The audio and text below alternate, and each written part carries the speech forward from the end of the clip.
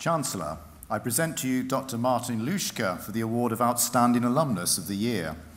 Martin is a distinguished member of an alumni community that, as we have heard, numbers 150,000 members across the globe. As we recognise his achievements through this award, we also acknowledge and celebrate the wider successes of all Lancaster graduates and the important part they continue to play in the life of our university. Martin Loucka is a Czech psychologist and director of the Centre for Palliative Care in Prague, the first research centre of its kind in the Czech Republic. Martin's work there has drawn great interest from around the globe, and he is widely regarded as one of the most outstanding emerging leaders in palliative care in Europe. He is also an assistant professor at the Charles University in Prague and research secretary to the Czech Society for Palliative Medicine. Martin's interest in palliative care began as an undergraduate when he learned about the existential psychotherapy and the work of Rollo May and Irvin Yalom. In, in existential psychotherapy, Death is one of the fundamental givens of existence which every person must deal with. Martin was studying a number of different psychological theories at the time, and this approach made the most sense to him. Looking to see if anybody used this perspective in clinical work, palliative care was the obvious first place to go. Martin attended a two year international training course in pediatric palliative care organised by an excellent hospice in Bratislava called The Flicker, and as he describes, it started a fire in my heart which has still not gone out. At Lancaster, Martin undertook a full time PhD focusing on mapping the development of palliative care in Europe as part of the European Commission funded project EuroImpact under the Marie Curie Actions of Framework 7 programme. On successful completion, he returned to Prague where he established the Centre of Palliative Care, an outstanding achievement in its own right. Martin worked tirelessly to secure philanthropic funding for this project, employing a small team, developing collaborative working relationships with clinical leaders across the country, and creating an exciting research agenda. His approach is highly innovative, an example being the design of an online game to promote individualized advanced care planning in the population. Martin's success has been achieved in a country without a strong record of palliative care services and a culture where discussions of death and dying are still largely taboo. In 2015, Martin obtained a highly prestigious and competitive Fulbright Fellowship to undertake research on advanced care planning with Professor Sean Morrison at the National Palliative Care Center, Mount Sinai Hospital in New York. In 2016, his outstanding achievements were recognized by the European Association for Palliative Care's Young Investigator Award. The following year, he was sponsored to undertake a six month palliative care education and practice program at Harvard Medical School and shortlisted for an Obama Foundation Fellowship. An inspirational and engaging speaker, Martin demonstrates determination and drive combined with modesty, humour, and compassion. Fondly remembered by colleagues at Lancaster, he participated in all aspects of student life while he was here, including, as a keen climber, regular visits to the university's sports centre's climbing wall. He embodies Lancaster's mission to improve the world and to ensure that our research outputs act as positive forces for change. The range of Martin Loucka's achievements over the last decade should act as a reminder to each of you graduating today that you too can be successful with commitment and dedication. In reaching for success, we hope that you will make the most of your Lancaster qualifications, not only to better yourselves, but also to benefit your families, your university, and the wider communities in which you live and work. Chancellor, it is my honour to present Martin Loucka for the award of Outstanding Alumnus of the Year.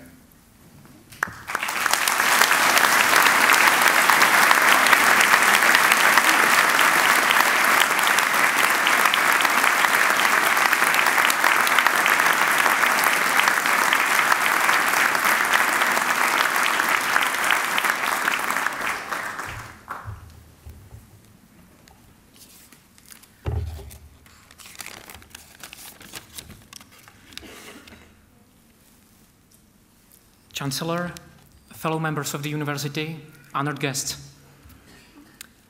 It is such an honor and privilege to uh, stand here in front of you today receiving this award.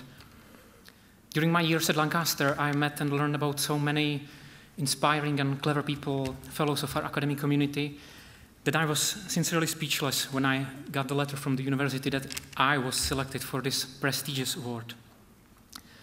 It is called Outstanding Alumni Award, and it made me think about what the word outstanding really means to me, about outstanding moments which I had the chance to experience, and all the outstanding people who have been supporting me and standing behind me all my life. If I may, I would like to use this opportunity to share some of these thoughts with you. A few weeks ago, my country celebrated 30 years from the Velvet Revolution when the communist regime collapsed and the Czechoslovakian people could take their lives back into their hands. During the previous 40 years of communist era, having the ambition to be outstanding was a risky thing. The safe way was to remain invisible, to lay low, and to do what you have, have been told to do. And people, including many students and members of underground academic community, who were brave enough to stand out of the crowd, were often forced to quit their studies and jobs or to collaborate with the regime. Many of those who were brave enough to stand out during protests in 1989 were dispersed by state police, beaten, or imprisoned. I was four years old in 1989, and most of what I know about those times comes from books and from my parents. But in the last month, since I received the letter from the uni, I've been thinking a lot about how lucky I am that being outstanding does not require that much risk today.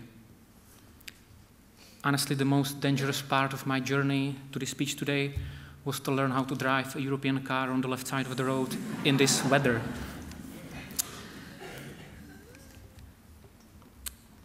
However, having said that, I think it still requires some courage and determination to stand out for people of my generation too. Compared to the generation of my parents, we have only ourselves to blame for not using the opportunities that lie in front of us. We all had the amazing chance to deepen our skills and knowledge by learning from people at one of the best universities in the UK. We had a chance to build friendships with really clever people from all around the world. When I was accepted for my PhD, in one of the prospects which I received was written that the role of the university is not only to transfer knowledge, but to prepare students for successful and valuable lives. And I believe that this was meant sincerely and that Lancaster truly follows this goal. And so we should be clear if somebody can make a difference in the world today, it is us. We have been given the best possible starting position. Of course, it's not always easy. Great things are born in pain. Uh, when I returned to my country after I finished the PhD, I was super optimistic, full of enthusiasm, and 100% sure that my plan how to change the healthcare system will work just like that. Six months later, I was exhausted, lonely, financially broke, and I clearly remember myself sitting in the kitchen asking my wife whether it was a mistake actually to coming back to the Czech Republic. However, I think that the PhD study was, beside other things, a very good practice in endurance and determination, and everything turned out well at the end of the day as I kept pushing, and also thanks to the people who believed in me and supported me to remain hopeful. Václav Havel, our, our first democratic president after the Velvet Revolution, once said that hope is not the same thing as optimism. It is not the conviction that something will turn out well, but the certainty that something makes sense regardless of how it turns out. Keeping this in mind, I think that we should dare to aim high, that this is the risk which we should be brave enough to take today. And it doesn't have to be winning a Nobel Prize, although that would be definitely a welcome addition to Lancaster alumni selection of achievements. I work in palliative care, which aims to help seriously ill people sustain the best quality of life as long as possible and to die peacefully and with dignity. What we see in people at the end of their life is not bragging about their financial success or PhDs or the number of projects they successfully led. It usually comes back to very simple things, such as relationships, joyful memories, opportunity to forgive. And many dying patients also strive to find the meaning in their lives based on how well they use their potential, whether they are leaving something valuable behind them. I believe that people who have been privileged by education and all the opportunities that we have should really think about this seriously and well in advance to avoid frustration and desperation later when we will be reviewing our own lives.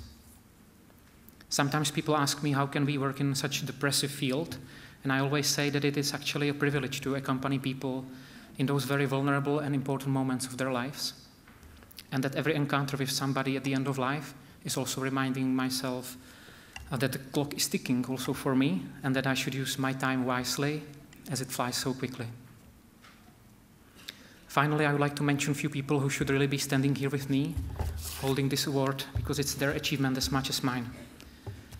First, my PhD supervisors, Professor Sheila Payne and Dr. Sarah Brearley, who were the best mentors I could wish for, and who have been supporting me over the years, even after I finished my PhD.